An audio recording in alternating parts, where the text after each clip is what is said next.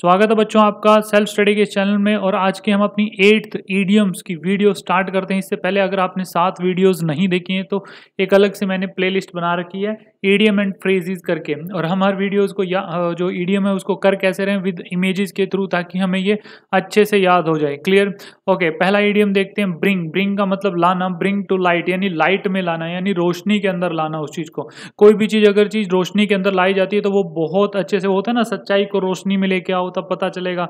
तो वो वही बात है कि उजागर होना, कोई चीज़ सामने आना तो ये वही चीज़ है। अगर आप इसका मीनिंग भी देखेंगे तो ब्रिंग का मतलब लाना, लाइन किसमें लाना, लाइट के अंदर लाना है, ताकि वहाँ पर सारी चीज़ें क्लियर हो जाएँ। तो इसका मतलब होता है दिखाना और उजागर करना। क्लियर हुआ?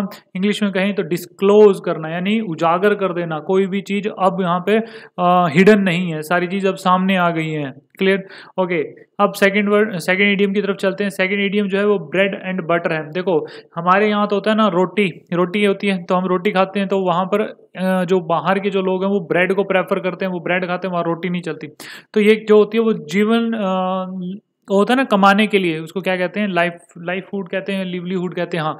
तो उसके लिए ये यूज़ किया जाता है। कोई इंसान अपने जीवन यापन के लिए कोशिश कर रहा है, मेहनत कर रहा है, किसके लिए? भैया ब्रेड एंड बटर खास के। देखो, कहते हैं कहेंगे कि ये बटर की क्या ज़रूरत थी? ब्रेड ब्रेड ब्रेड कमा लेता। देखो, वहाँ के लोगों के लिए दोनों चीज़ें ज़रूरी होती हैं। तो इसलिए उन्होंने दोनों को एक साथ चलाया कि ब्रेड एंड बटर तो इसी का मतलब होता है, देखो उपजीविका, यानी जीवन चलाना या भौतिक भलाई। क्लियर इसको इंग्लिश में कहें तो मटेरियल वेलफेयर यानी अपनी जीविका चलाने के लिए मेहनत करना, अपने अर्निंग पे डिपेंडेंट होना यहाँ पे। क्लियर हुआ? तो ब्रेड एंड बटर का मतलब होता है उपजीविका। कमाने के लिए मेहनत करना या फिर अपनी अर्निंग करना।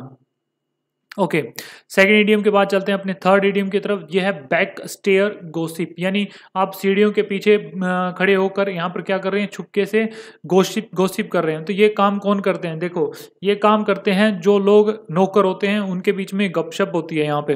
क्लियर हुआ? तो नौकरों के बीच की जाने वाली एक गपशप आती है, इसको कहते हैं back stair gossip okay English में कहें तो टॉक अमोंग सर्वेंट या फिर अनफेयर टॉक भी होता है यहाँ पे। कोई सही ढंग से बात ना करना, ज़रूरी नहीं कि नौकरों के बीच में हो। अनफेयर टॉक भी हो सकता है कोई और भी कर सकते हैं। लेकिन ज़्यादातर नौकरों के लिए यूज़ किया जाता है। फिर हम देखते हैं अपने फोर्थ ईडियम की तरफ़। फोर्थ जो ईडियम है वो है बाय एंड बाय आप यहाँ पर देखें तो एक कछुआ जो एक स्नेल को लेकर चल रहा है। स्नेल तो भैया इसकी स्पीड तो ऑलरेडी कम होती है, इससे भी कम होती है। तो दोनों की स्पीड कम हो रही है तो बाय एंड बाय का मतलब बनता है धीरे धीरे, यानी बहुत ज़्यादा स्लो इंग्लिश में बोले तो स्लोली तो बाय एंड बाय का मतलब होता है स्लोली क्लियर हुआ? ओके लास्ट ईडियम की तरफ़ आते हैं। लास्ट जो ईडियम है वो है एक्स आउट एक्स आउट यानी एक्स का मतलब होता है कुल्हाड़ी और आउट का मतलब होता है निकालना। यानी कुल्हाड़ी निकालना। देखो, इसका कोई मीनिंग तो बनेगा नहीं, लेकिन ये आप लोगों को याद करना पड़ेगा, बाहर निकालना। कुल्हाड़ी नहीं, कोई चीज़ बाहर निकालना, किसी चीज़ को बाहर निकालना या फिर कहीं टू टर्न आउट क्लियर हुआ? ओके तो ये तो थे आज आपके पाँच ईडियम समझ में आए हो तो उम्मीद करता हूँ कि आपको समझ में आ गए होंगे। अगर समझ में आए हैं तो क्या करेंगे आप? इस वीडियो को लाइक करेंगे चैनल को सब्सक्राइब करेंगे और दोनों काम एक कर सकते हैं आप। मतलब इस वीडियो और चैनल के साथ वो क्या है, वो शेयर करना। समझ में आया? ओके अगर इस वीडियो से रिलेटेड आपको पीडीएफ चाहिए तो आपको क्या मिलेगा? इस वीडियो के डिस्क्रिप्शन बॉक्स में एक लिंक मिलेगा। किसका? टेलीग्राम का, साथ ही साथ फेसबुक का। तो जाकर आप दोनों को वहाँ पर ज्वाइन कर सकते हैं। वहाँ पर आपके एग्ज़ाम के पॉइंट ऑफ़ व्यू से बहुत सारी चीज़ें वहाँ पर प्रोवाइड की जा रही हैं। तो बस आज के लिए इतना ही था इस वीडियो में। Thank you